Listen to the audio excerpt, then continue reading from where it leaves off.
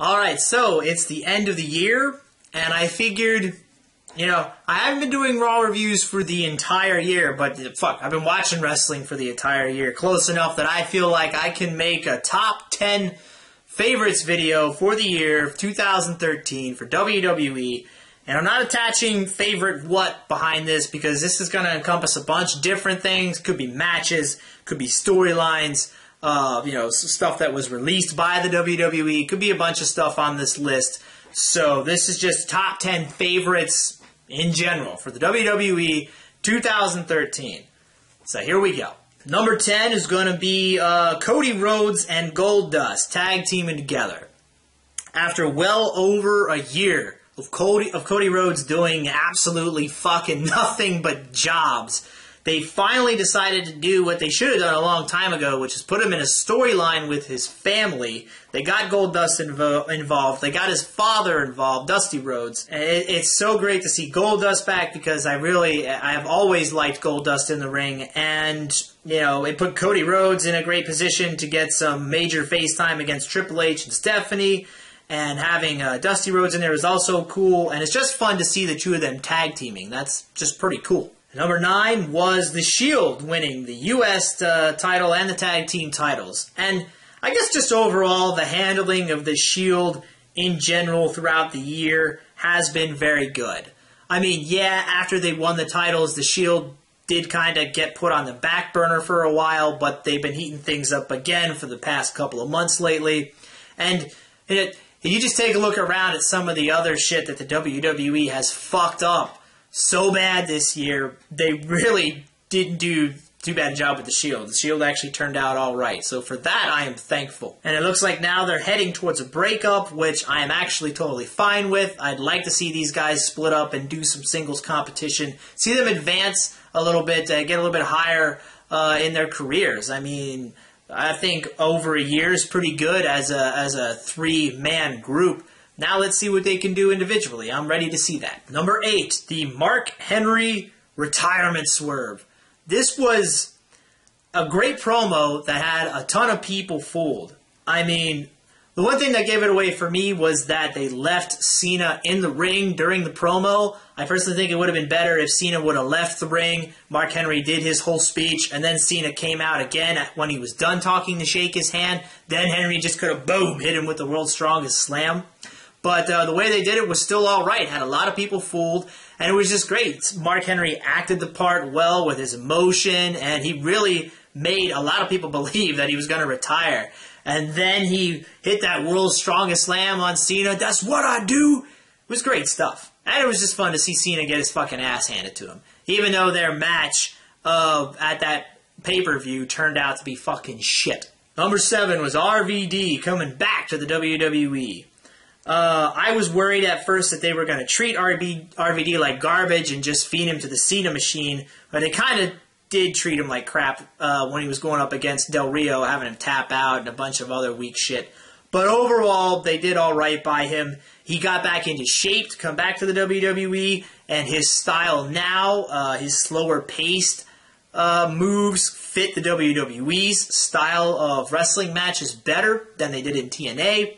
So I think uh, he definitely added some much needed talent to the roster to put on some big matches on Raw and at pay per views. Very happy to see the man back. I've always been an RVD fan. And yeah, he's gone now, but he'll be back. He's only gone temporarily. I'm sure he's going to be coming back at the Royal Rumble. Number six was uh, the CM Punk versus Undertaker match at WrestleMania. This was another great Undertaker match. It wasn't one of the best. I heard a lot of people say this is one of the best Undertaker matches ever. Not in my opinion. And people are still saying that. This match was good. You could even say great, but it wasn't one of the best. I don't think so. But again, you know, that's my opinion. It was a good match. The storyline building up to it was great. Used, unfortunately, using Paul Bearer's death, but uh, it, they did work it into a great storyline. But sad to see Paul Bearer go. He was a great character, and the match was great because it, it worked uh, people's expectations of it. Kind of turned it against them. Like you expected to see the Undertaker do the walk across the ropes and hit the the arm, but it wasn't. CM Punk did it to the Undertaker. Know, they kind of twisted some things around during the match, and uh, it made it a very interesting and entertaining match. And number five is Daniel Bryan versus Antonio Cesaro. This is from the July 22nd episode of Raw. Had Daniel Bryan running the gauntlet, and this was like the second match in a series of three or four. Uh, and yeah, I'm ranking this match higher than the Undertaker match, and I'm sure some people are going to give me some flack for that. But you know what? That's just how I feel, and I think this match was better. And, uh, you know, it's just my opinion. And going into this, I wasn't expecting a lot from this match because it was the second in a series of matches. I thought it was just going to be a quick throwaway match. And it wasn't. It was long. It was back and forth. And the crowd was just like, man, they just got so pumped. And I got so pumped because Cesaro and Bryan, I really like Cesaro too. And I really like Bryan. And the two of them have such great chemistry in, in, the match on that night. And I think overall, they haven't wrestled too many times, but on, on, that night, they were really firing on all cylinders. They put on a fantastic match that had was just great from beginning to end. I really enjoy it. If you guys are a fan of Bryan and or Cesaro and you haven't seen that match, I recommend you go check it out from July 22nd. Number four would be the Daniel Bryan and John Cena sort of face off the promo on the last Raw before SummerSlam. The You Are a Parody of a Professional Wrestler promo. This was awesome because Cena, not only did he get his fucking ass handed to him on the mic by Daniel Bryan, but he got his ass handed to him by the crowd. People did not want anything to do with John Cena on that night. They were firmly behind Daniel Bryan. I'm going to always remember two things from this promo. Daniel Bryan calling Cena a parody of a pro wrestler, and uh, Daniel Bryan talking about how in Japan they would, you know, wrestlers would slap each other back and forth, you know, when they're preparing for a fight. It was a show of respect. And Daniel Bryan refused to slap John Cena. Even when Cena got pissed and slapped uh, Daniel Bryan, Daniel Bryan still wouldn't slap him. He just laughed at him. Was amazing. Number three, CM Punk versus Brock Lesnar at SummerSlam. This should have been the match of the year, in my opinion. It fucking wasn't even nominated, thanks apparently to some Triple H bullshit, which is just that fucking bullshit. But um, you know, the build up to this match was excellent, but Punk and Brock they worked this match in such a great way. It was so Punk being the smaller guy, having to fight for his life against Brock Lesnar, and Brock just beating the shit out of Punk in parts. Uh, but Punk, you know, was relentless as he said he was going to be, and he just kept on coming back and coming back. And you have Paul Heyman just being the heel manager and his facial expressions during the match and the things he was doing during the match, they, they were heelish. It was great bad guy stuff, and it was just fucking hilarious. Everybody did so well. All three guys did so well in the match, and the match was really exciting from beginning to end. One of the best, uh, if not the best match of the year, in my opinion. All right, number two. It was uh, it was going to be Dolph Ziggler winning the World Heavyweight Championship, the Raw after WrestleMania.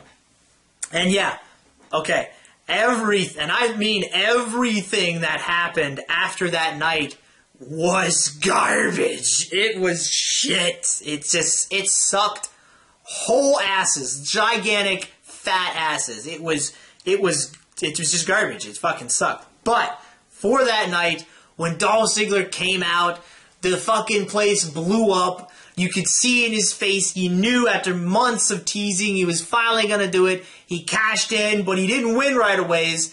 And I think that helped build up the moment so that when he finally did pin Del Rio, man, the fucking place exploded. I was on my feet after that. And yeah, after that night, everything else sucked. But for that one night, that moment was amazing. One of it was fucking great. Definitely the best night for Dolph Ziggler, but uh, and it still gives me goosebumps watching it to this day. Was a great moment. All right, my number one favorite thing of the year for the WWE was gonna be the the CM Punk Paul Heyman feud that took place over the months, you know, the summer months. The the promos between these two, the segments between these two, gave us some of the best TV to come out of the WWE for the year.